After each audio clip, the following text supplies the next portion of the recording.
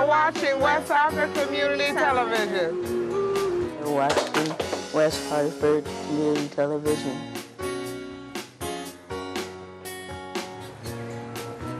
You're watching West Hartford Community Television.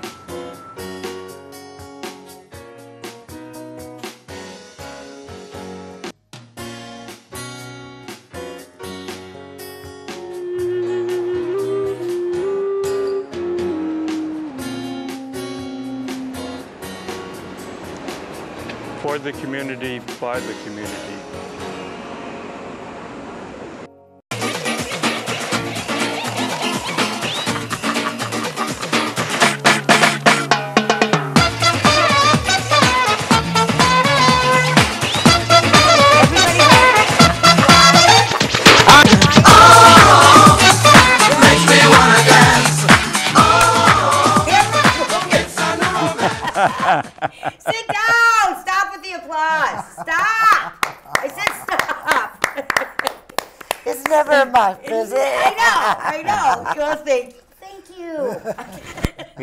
Have a beautiful studio audience. Yes, they're wonderful. Yes. Uh, so I'm very excited to be back. I've I've taken a little hiatus, but I'm very glad to be back and with my favorite guests who've been here many times. With Yay. uh, Jacques Lamarre, who's a playwright Mm-hmm. extraordinaire. Yes. Elizabeth Agreed. Pettruccione, who's um, losing weight with Elizabeth, also the author of Born Fat.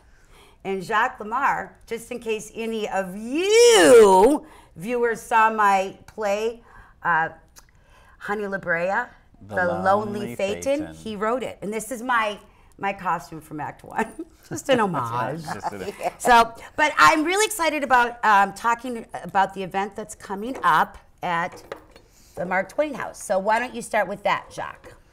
Uh, well, on April 18th Uh-huh. at 7 p.m. at the Mark Twain House and Museum, uh, we're doing something really exciting uh, for me, which is, um, you know, my three most uh, kind of popular plays uh, that I worked on by myself. Uh, in terms of, there are things that I've collaborated on with other playwrights, but uh, um, that being I Loved, I Lost, I Made Spaghetti, which premiered at TheaterWorks in Hartford, uh, Born Fat, um, which premiered at the Seven Angels Theater in Waterbury, and Raging Skillet, which premiered at TheaterWorks in Hartford last year. Um, they're all based on uh, the stories of, of women who had um, various uh, hurdles to overcome, uh, and we, um, you know, and I dramatize their stories. And it's the first time that all three women are going to be on stage. Uh, Right. I think not only together. I don't. I don't think any of you have all been on stage either. You know, in any combination on stage before, uh, talking about what it was like for them to trust me with their stories, to turn them into plays, and to you know what it's like to watch your life on stage come to life with with uh, actors portraying you, and um, and you know the impact that the plays have had on on my life and on their lives, and how they inspired me, um, and that even though the the stories are their stories, there are things that I um, uh, responded to in coming across the material uh, that spoke to me on a personal level. So we're going to be talking about all of these things with with uh, with the three women, one of whom is sitting right here. That would be me. Yeah, that's be you. Yeah. So we'll just um, just to stay on that for a second. One Sure. of the things I love, and it's not just based on women, is we all have food issues. We all have our emotional relationship to food. And we all, I, I feel like there's, there's very few people I meet who are completely happy with, with where they're at. They always feel like they, they need to be different, and it's centered around their relationship with food. So I love that, that thi- this whole event really centers on that. You know, man or woman, we all have so, have so much to learn, and we can learn it by the journeys that that these women have been on. So Elizabeth, your your journey, um, and the book Born Fat. Tell me about that and and what you felt about the play. Well, it was uh, really uh, on my in my case, it was very difficult just watching uh, my life unfold on stage because it wasn't a very good life. So, you know, but it was motivational and it was funny and at the end you felt so happy and and at some points you stepped back and it wasn't you anymore and it was that woman up there and you were so happy for her because she seemed to come out of the woods.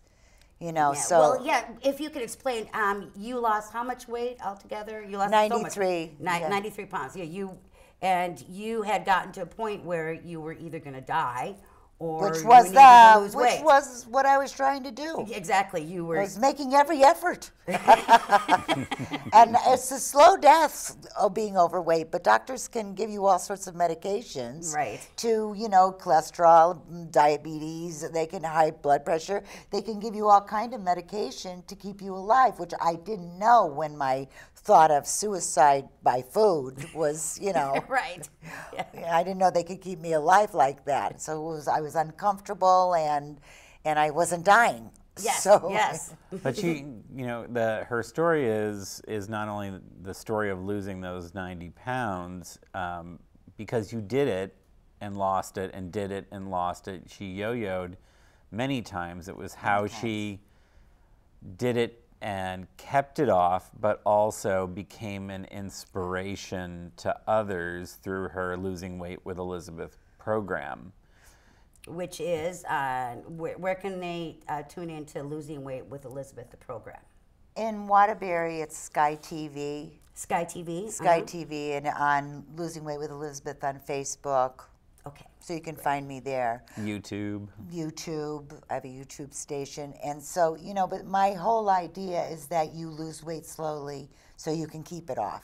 Because I lost 0.6 a week uh, for three years. Right. Now, most people would go, Are you kidding me? I can't lose that weight that slow. Yeah, it, it would be hard. Yeah, because you, you think of going on a diet and you're all focused. You're like, and you feel great. You're like, okay, this is it. And you, you lose the weight, but then you're like, so now what do I do? Well, if you can't keep it up, you can't keep it off. exactly. That's, It's- a, that's the whole thing. You know, because the, the diet almost seems like, like the easy part because it's such a distraction from what's going on. You only need to eat, you know, consume a certain amount of calories and it comes off. But then it don't didn't you find that you really needed to face your your food demons Yes, once you and lost you know, the weight? but Yeah. the other thing is, is that if you're not giving up pizza for the rest of your life, or cheeseburgers, or you know, pina coladas, whatever your your you know poison is, which is what I had for breakfast. Yeah. All three. well, that explains Yes. it. but uh, you know, if you're not giving those up for the rest of your life, so if you're not giving them up for the rest of your life, you're going to have to include them in your diet. I don't like Right. diet, but you have to include them in your diet, and that will be slow weight loss. Right. But it'll still be weight loss. Right. You know, so right. you're you're going to have, you know, my successful weight loss went like this, you know, all over, not like that. But people whose weight loss goes, you know, like, you know, just goes like that, they're gaining all that weight back. Exactly. There's no doubt Exactly. about it. They could, you know, they can do all the food delivered to their house. They can take pills. They could do whatever they want. Right. Do you know what I always think of with that is when Oprah famously came on stage and she was wearing like a size four jeans and she had a wagon Full with of- the- yeah, 'cause she full- was full of all doing- the fat she lost. but 'cause We she she talk about right that back. in the play. Yeah, because she was Yeah. drinking uh, like you know Slim She's, fast or uh, something a like liquid that. diet, yeah. Liquid diet, and but Oh, you talk about that in the play. yeah, Yeah. But you can't do that because you're not going to stay on a liquid diet for the rest of your Exactly. life. And she did look good though. Yeah, she looked great, do but, look, but she said the first weekend that she went off, she gained five pounds. yeah, The definitely. very first weekend.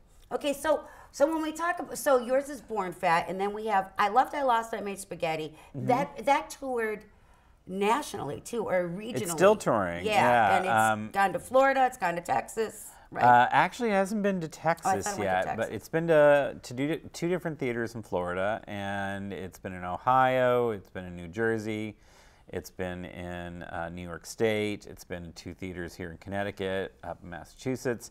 This year it's going to be in Colorado Right. and Georgia, um, and it's really been a word of mouth hit, um, which has been great for me. And um, it's it's uh, quite different from Elizabeth's story in some ways, um, and in other ways, it's actually it's kind of similar. her. Yeah, it's still her relationship with food. It's yeah. her relationship with food, but um, it's really through the lens of wanting to um, find someone to spend the rest of her life with. And she goes through a succession of, of boyfriends that she cooks for. Uh, and it's how she uses food to kind of attract men and to find herself attractive. It's how she um, tries to cook to keep men, and it's how she uh, uses food to console herself when she loses men. And there's um, there's a good chunk of Born Fat where Elizabeth is is cooking to please other people in her life rather than please herself. Right. And so um, that's one of the things with with Julia. I mean, Julia, like Elizabeth, loves to entertain, loves to cook, loves to show hospitality.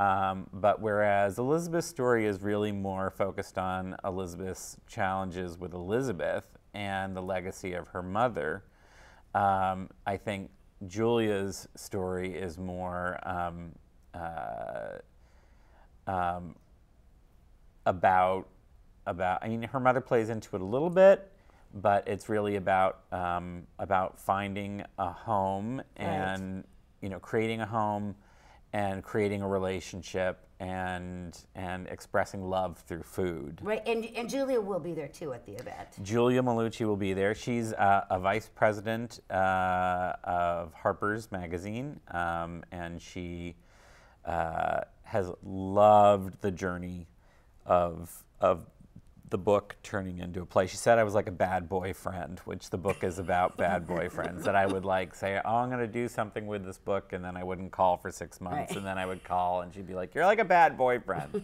you just need to commit." And so um, the process of of writing that book, um, once I finally sat down to do it, hap- that play happened very quickly, and um, and then I was like, what am I going to do next? And Born Fat happened much more quickly in terms of from the concept to uh, Elizabeth's um, book is is a very different animal than Julia's book. It's um, it's really a lifestyle guide in some ways. It's called You Were Born Fat. And there's maybe 10 pages of autobiographical information Yeah, at the beginning. It's not the whole, whole Right. the whole thing because there's also, you know, journals and recipes and exercises and, and all kinds of motivational things.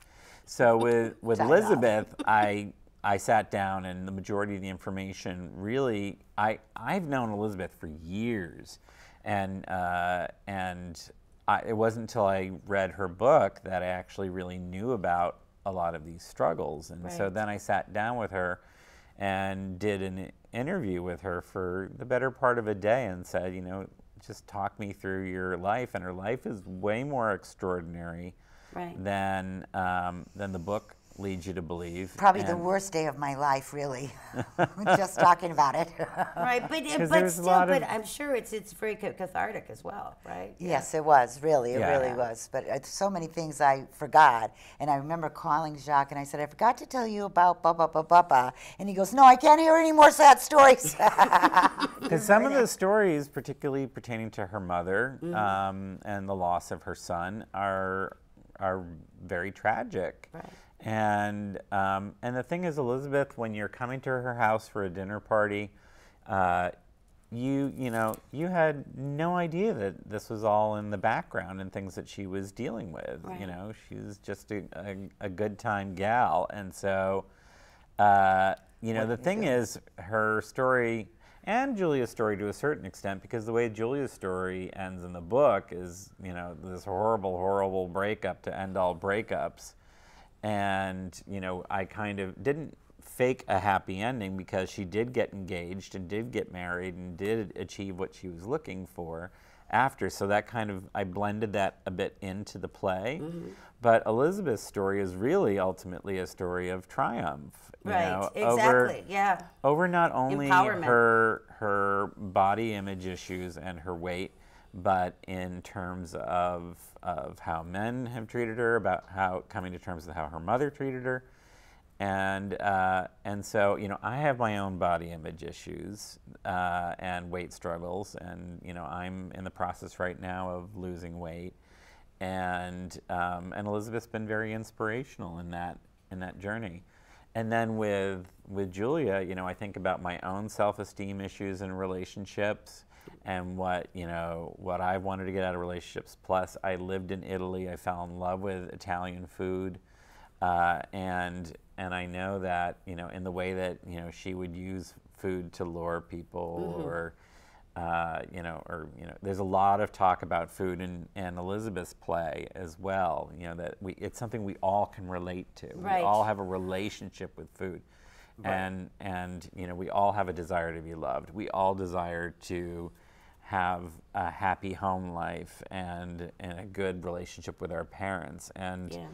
you know, for Elizabeth, that you know that didn't necessarily happen with her mother. Her mother was Right. a very difficult person, uh, and and um, Raging Skillet to bring the third play in. Yeah, the Ra- in Raging is- Skillet. Speaking and, of mothers. and uh, mother, and yeah. the author of Raging Skillet. I mean the Chef Rossi. and Yep. she's going to be there too. She's going to be there as well. She's going to be there too. And, okay, so we've um, got three magnificent ladies. Yes, yes, Okay. and they're all going to be signing their books as well. Wonderful. But um, you know, her her story is very, you know, in some ways very similar, but also very different. You know, she's uh, a New Yorker like Julia. Uh, actually, she was born in New Jersey, but she's a New Yorker now. But she's, you know, a lesbian punk rock caterer, and she came from a very Orthodox Jewish home, and food is part of how she rebelled against her her mother and her upbringing.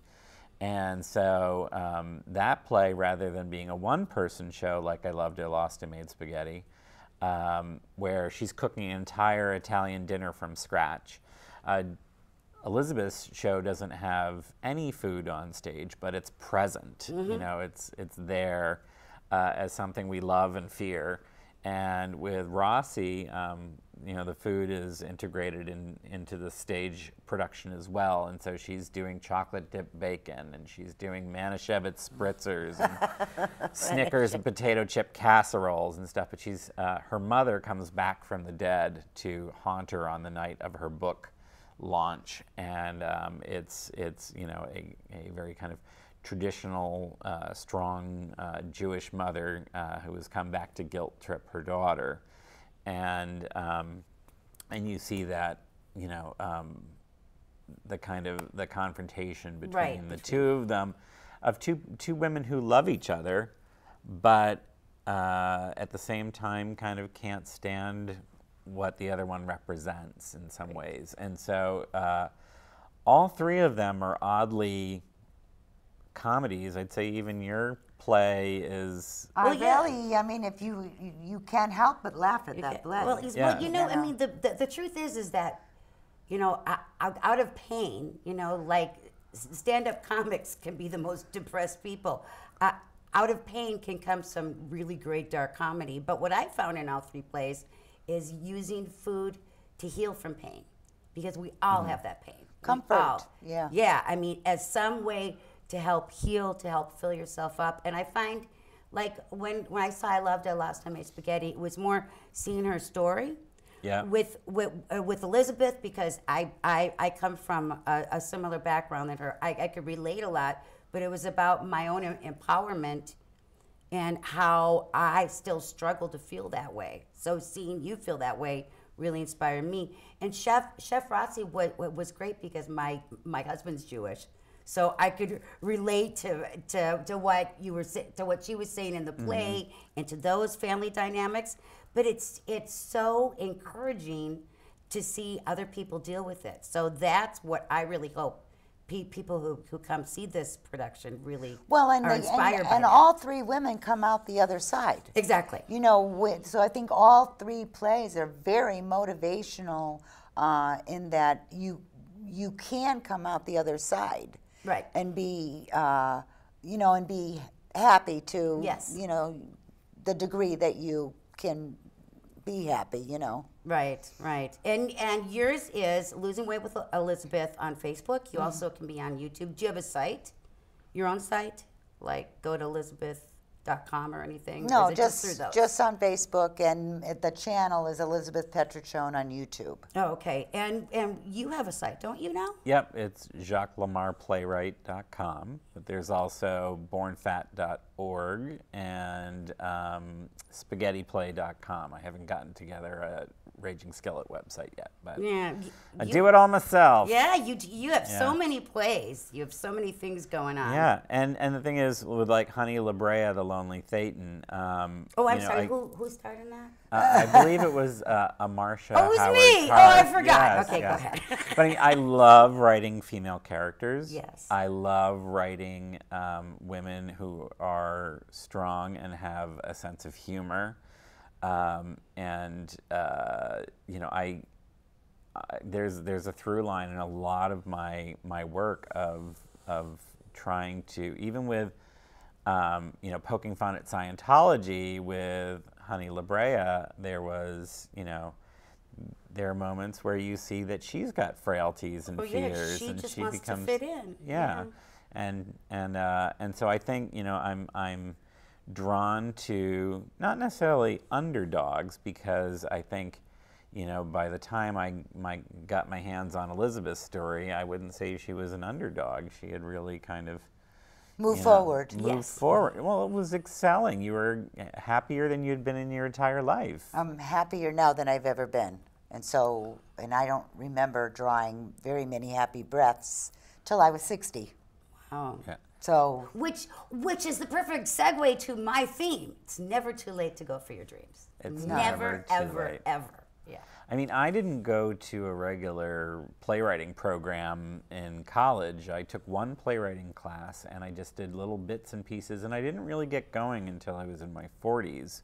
And now that I'm 32, yeah, I was going to it's say, really. No, yeah, no, yeah, because he has the the Benjamin Button disease. Yeah. but I mean, the thing is, it's, you know, there's a lot of people who get discouraged very young. Right. And they just give up on their dreams. And, and uh, to me, it's, uh, you know, I'm living the dream right now. Right. You know, I'm very lucky to have my work being done. Um, you know, I just recently had um, Varla Jean Merman, the drag performer that I write for, up here in Hartford for a sold out evening. I'm um, doing appearances where I'm actually appearing on stage myself doing a play called Red State Road Trip, where I talk about my trip to Missouri and Arkansas. Uh, did that in Connecticut. I'm going to be doing that up in Massachusetts, and um, you know, and it's you know, it's exciting rather than just being a playwright who sits and writes stuff and hopes that it will get done. You know, that it's that it's happening for myself, and I think you know, you had a dream to have a TV show Yep. and you made it happen and you have become like the multi hyphenate author, life coach, you know, uh, weight loss coach. leader, personal trainer, you know, Plus, she's so damn cute. Adorable. adorable. And uh, you know, I mean, and you know, she's she's inspiring, and Chef Rossi's inspiring, Yeah. and Julia's inspiring, and so She's this full evening, of vinegar, isn't she? Who? And Chef Rossi. Oh yeah, yeah. Oh my God. Uh, I mean, all three of them are such personalities. I mean that in the nicest way. And Let's I- get that clear. I should, I should, I want to make sure that I mention that this evening is sponsored by the Friends of the Mark Twain House, which is a wonderful organization of volunteers who support uh, the, the Twain House through fundraisers. So there is a charge for this event of, I think, $25. But where you, do they go to get tickets? you can go to marktwainhouse.org. Okay. Um, but uh, it doesn't include just the talk uh, with uh, myself and the ladies. It's being moderated by Eric Ort, who is the artistic associate at TheaterWorks, uh, and a tremendous guy. And a wonderful Uh, director. And a wonderful I- director. Eric is really talented. And um, he, he directed you in something, correct? mm. yes. Uh, so, and then, uh, um, but then there's going to be tastings of uh, the food, Right. of some recipes by some of the ladies, um, including some of uh, Chef Rossi's creations, I believe. Have you given me your recipe yet? I, I can't gave remember. a couple of recipes. Yes. So um, the Pond House Cafe is going to be doing the food based on their recipes. fun. So there's going to be wine. I think there's going to be some Manischewitz spritzers uh, from Chef Rossi. Uh, and there's going to be a really fun evening of conversation And- and about again, theater the and books and women. again? And it is April 17th April 17th. at 7 p.m. And again, go to marktwainhouse.org. The event is called Playing with Food. Uh, Jacques Lamarre and his muses. Okay, perfect. One Okay. of my more amusing muses. Well, you know, um, and also just just so you know, this show is is permanent. So people are going to see this when when April seventeenth has already passed. So I want to make sure that they know that they can go to your website. Yep. They can go to you on Facebook, and they, they can they can look into the book, and they can look into to what you're doing, and many Yep. good things are going to happen. You know, I'm really looking hope. forward to your um, Marsha Howard Karp one woman show. Broadway's calling. Wait, do you hear that? Broadway. Okay. Broadway's calling. no, but but thank you so much for being on. And it's and I'm just another one of my my themes is it's never to, never too late to go for your dreams. Really is also because I know we all go through this once we're past 35. Surprise, but but I- I have a way to go. right, but, but but people think I'm not young. I don't have the energy. Why why even try?